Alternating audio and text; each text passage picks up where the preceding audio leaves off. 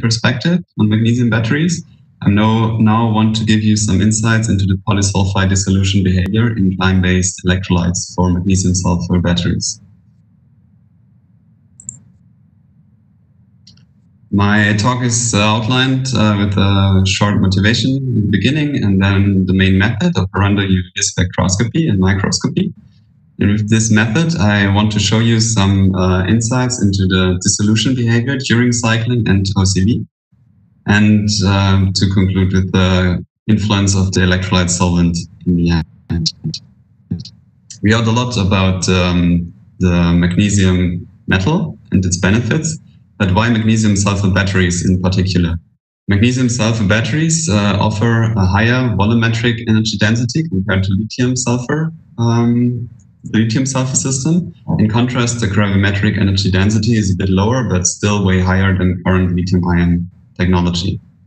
Um, normally on this introduction slides, you can read about magnesium dendrites uh, are not present in this system, but um, I think this is not uh, the case. Uh, there are a lot of uh, literature um, showing that classical dendrite formation is not present due to a higher surface diffusion. But indeed, 3D uh, magnesium growth using the separator as a scaffold, practical current densities is uh, still observed. And you can see on the right side a recent publication at uh, practical current densities, there's this, this spherical growth, um, which might be uh, tuned by electrolyte and separator adjustments. So this issue might be overcome in future. Overall, magnesium and sulfur uh, are naturally abundant, cheap, and non-toxic, which makes this um, system, uh, promising uh, system for, for large scale application, maybe as Professor Fichtner mentioned, also for stationary energy storage. Why uh, operando UV-Vis spectroscopy? To study this uh, system. We haven't heard much about uh, the sulfur system in this conference, so um, I want to give you a short, uh, the, the, basics of, of the sulfur system. It's comparable to lithium sulfur, so it's uh, relies on the reduction of sulfur to magnesium sulfide in the cathode. And uh, it's accompanied with uh, the polysulfide shuttle, which is um, the origin for the fast capacity decay and the restricted cycle life in all, in all uh, sulfur batteries. And uh, the benefit of those uh, intermediate polysulfides is that they absorb visible, they absorb light in the visible and ultraviolet um, spectrum. And this makes it possible to detect uh, those species. You can see in the bottom part, uh, those um, absorbance, uh, that the wavelength is quite distinct, so you can uh, distinguish between uh, each species. Here you can see uh, the, um, the spectra of some or the spectra at selected stages during cycling of a magnesium sulfur cell. And uh, those um, peaks are assigned to, um, to sulfur species uh, according to previous literature. Uh, which is quite uh, interesting here is that this um, S4 to minus species uh, is quite dominant during discharge, while it was not uh, chemically accessible um, by Bieker and other groups. So this might be only formed electrochemically uh, during the cell, but still uh, the stated um, fact that uh, do not stabilize and S4 to minus uh, might not be true. Those uh, wavelengths marked uh, here or in bold are those wavelengths I focus on and those species um, assigned to it. Here you can see the voltage profile in the in the top part of a, magnesium sulfur cell cycled at C over 20. And in the bottom part, the, the corresponding um, response uh, or from the UV spectra. And uh, on the right side, the um, uh, operando microscopy picture. And you might see uh, now during discharge, there is a coloration of the separator and during uh, charge, it vanishes again. So you see the separator coloration Towards the end of the discharge, it vanishes, starts again to color. And then towards the end of the discharge, it's decolored again completely. You can also see uh, a black coloration around um, the magnesium ring or the edge, which might be electrolyte decomposition or some sulfur uh, precipitation, polysulfide um, forming magnesium sulfide at the anode surface. To have a closer look at uh, this um, behavior, I selected some, some stages here. You can see uh, in the beginning there's already a high initial concentration of S8 and S8 uh, 2 minus after cell assembly. Um, despite the, or uh, in contrast, the long or short and short chain polysulfides are not present. So MgS4 and uh, MgS6 are not or yeah not present, not that dominant. They are formed during the first um, discharge plateau, and uh, you can also see that they cause this um, strong uh, yellow coloration in the separator. Towards the end of the discharge, uh, all sulfur species um, or the concentration of all sulfur species declines and the separator is decolored uh, again.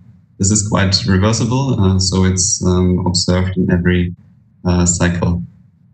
Having a look on the subsequent charge, uh, the reoxidation takes place of all um, sulfur species simultaneously, but uh, it's incomplete. So you find um, short chain polysulfides, MgS4, MgS6, uh, even at the end uh, of the charge at a quite high charge cutoff potential at 3.5 Uh, in fact, no S3 radical uh, was observed. Uh, this is um, in agreement with the, the former uh, studies by Bieker um, done two years ago, something like that. One can argue that with the lower C rate,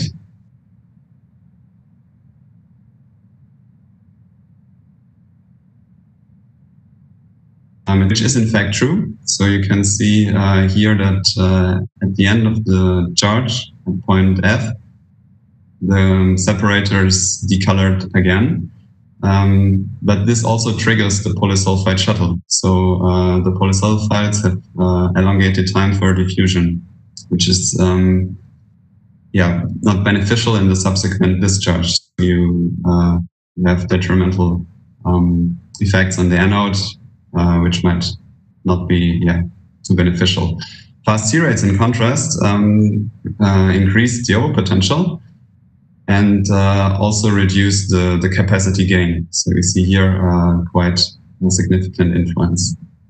If we have a look on the self-discharge, so the behavior during OCV, uh, severe self-discharge is observed uh, in, in all glymes we, we uh, examined um, with a high initial um, elemental sulfur and SA2 minus uh, concentration.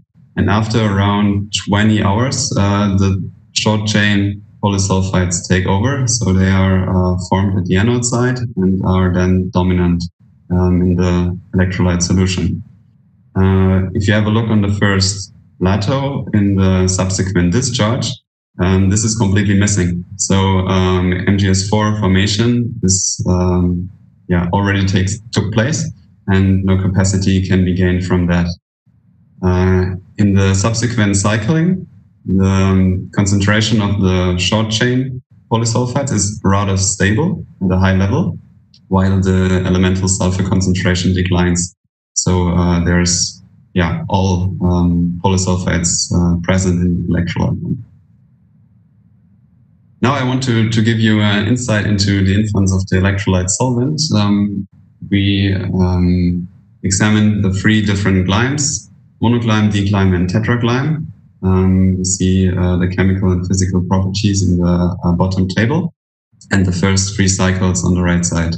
If you have a look on the uh, charge behavior, uh, the over potential rises with uh, longer glyme length which is due to um, an increased uh, over potential, um, increased uh, solvation of the magnesium cation, uh, which is despite the fact that uh, um, exhibits a, a, quite, a, quite, low donor number or lower donor number than uh, monoglyme, for example.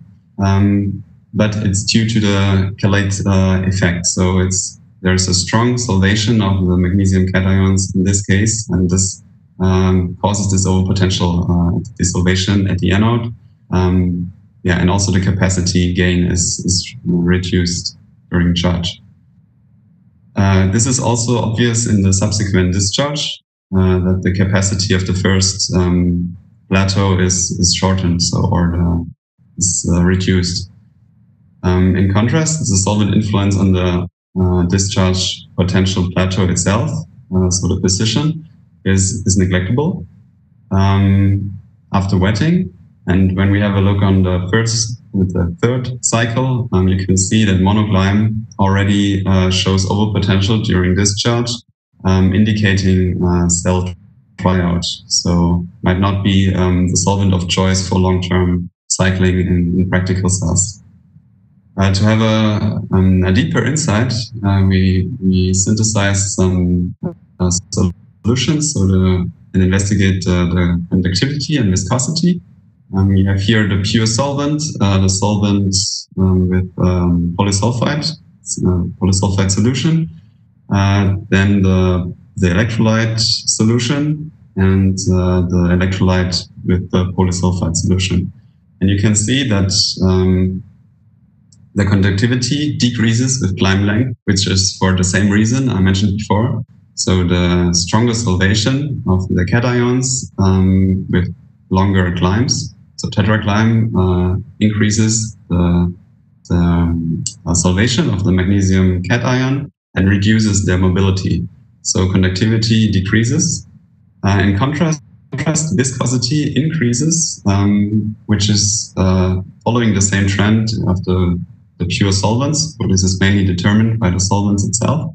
Um, the influence of the polysulfides are, are uh, neglectable, at least in this um, concentration range. So this is a quite uh, low concentration of uh, 10 millimolar, uh, but higher concentrated uh, polysulfides are not synthesizable yet. Uh, but I think it's comparable to, to practical cells. So I think uh, this might not be an issue to consider at the moment. And based on these insights, uh, offers the best compromise, as Piotr already mentioned before. It, it offers a moderate uh, magnesium uh, solvation. So the desolvation uh, energy is, is lower than compared to, to tetraglyme. The volatility is lower due to the higher boiling point, and the viscosity is still quite low.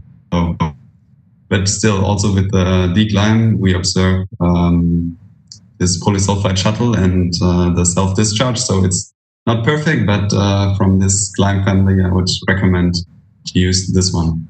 With this, I want to uh, conclude um, operando UV spectroscopy and microscopy are well-suited methods. And with this, uh, to, to study the polysulfide dissolution behavior.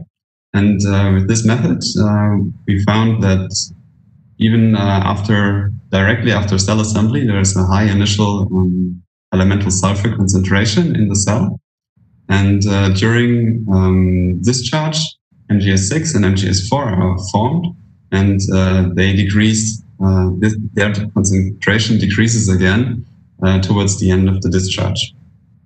Um, during charge, an incomplete reoxidation is observed, even um, due to the high, despite the high charge cutoff potential.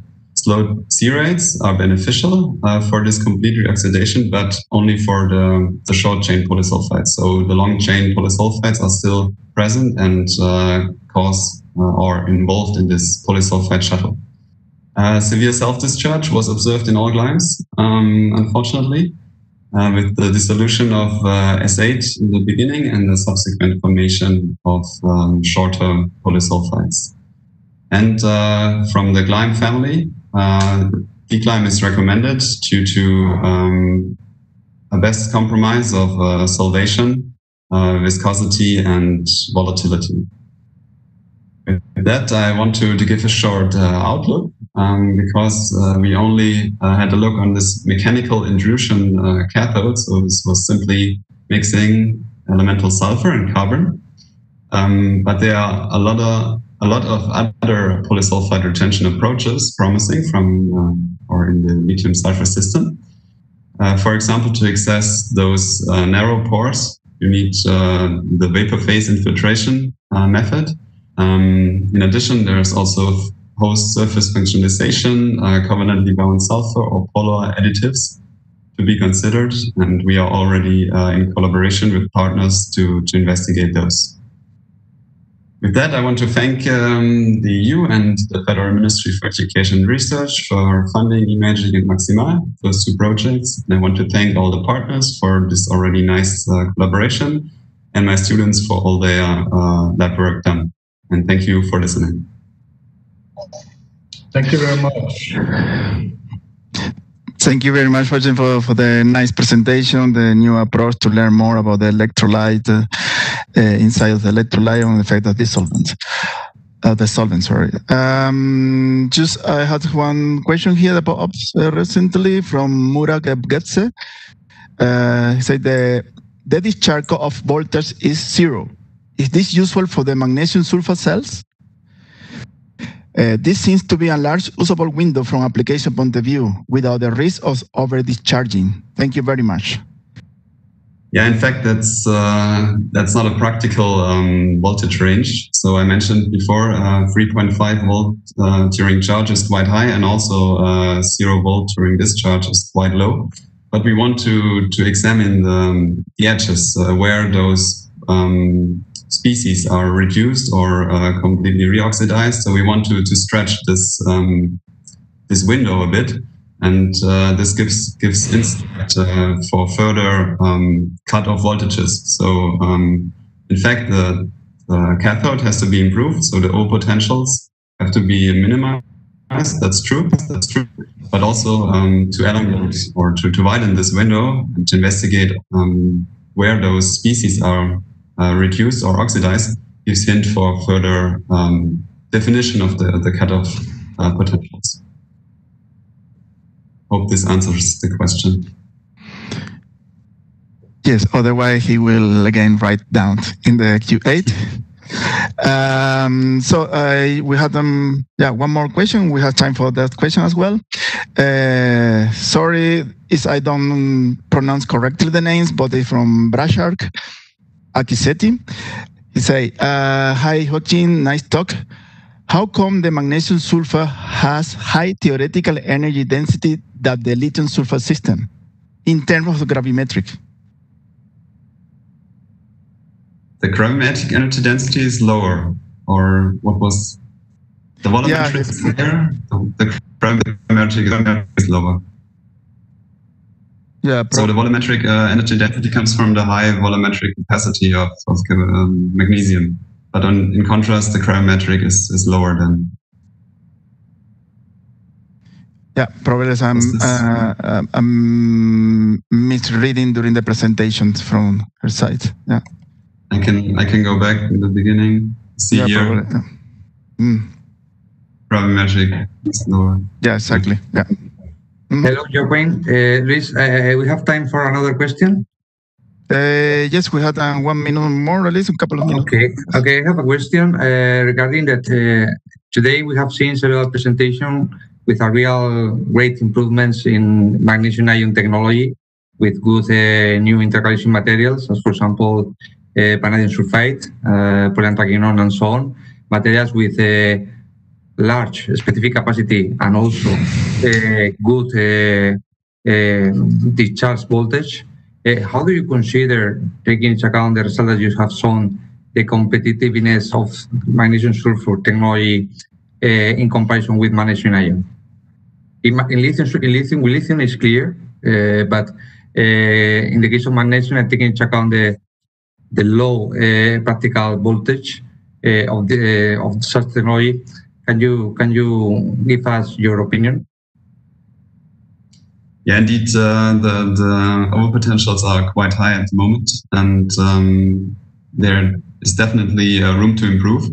Uh, this is um, one thing I mentioned in, in the last slide. Uh, we want to, to examine some redox mediators together with um, DTU to access the second plateau where the, the the most of the, the capacity is gained from, um, okay. which is yeah, which is uh, opening, I would say, uh, uh, uh, the the field for for high energy yeah. Uh, uh, density cells. But yeah, there's a, a lot of work uh, to be done, and at the moment, yeah. Uh, the magnesium ion cathodes look uh, more promising, especially when you have a look on the recycling performance. So the capacity decay is also quite severe in magnesium sulfur. Thank you very much, Joaquin. You're welcome. So uh, let's thank again to the speaker, Joaquin. Thank you very much, Joaquin, for your great job on work.